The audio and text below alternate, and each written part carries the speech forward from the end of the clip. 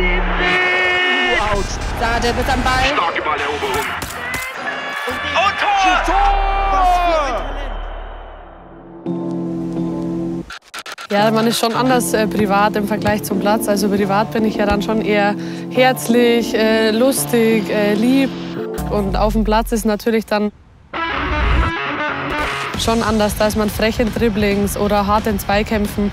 Da verändert man sich natürlich schon in gewisser Weise.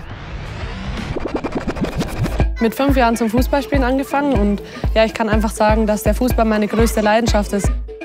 Ja, deswegen ähm, war es für mich immer klar, dass Fußballspielen eben das ist, ähm, was ich dann auch zu meinem Beruf machen will. Bin dann ähm, mit 16 ausgezogen. War natürlich am Anfang nicht leicht, aber ähm, ich habe immer gewusst, warum ich das mache und wofür ich es mache. Der Traum, dass ich einmal Fußballprofi werden will, dass ich ähm, in der Nationalmannschaft spielen will. Mein Name ist Alisa. Mein größter Traum ist es, in der Nationalmannschaft zu spielen, genau wie Sarah Debritz.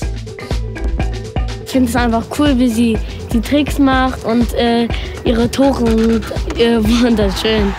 Also äh, irgendwann möchte ich auch mal so eine Tore machen. Ich will unbedingt mal so spielen wie Sarah. Hi Alicia, wie geht's? Sarah! Hi, zusammen spielen?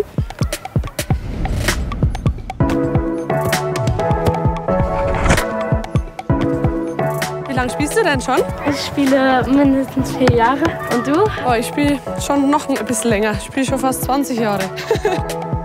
Hast du einen Tipp für mich? Oder also Ja, ich denke, Talent ist nicht alles. Ähm, es ist wichtig, dass man im Fußball ehrgeizig ist, dass man diszipliniert ist. Ich glaube, das ist das Wichtigste. Wenn man Spaß daran hat, dann kommt der Ehrgeiz von allein.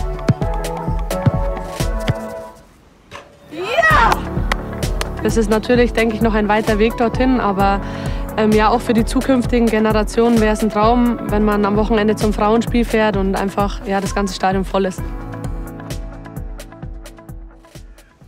ich hoffe, du wirst Weltmeisterin. Oh, danke. Kleine. Bei uns, also wir haben ja Turniere. Wie erster Welt kriegt jeder seinen eigenen Döner. Die ist die besten.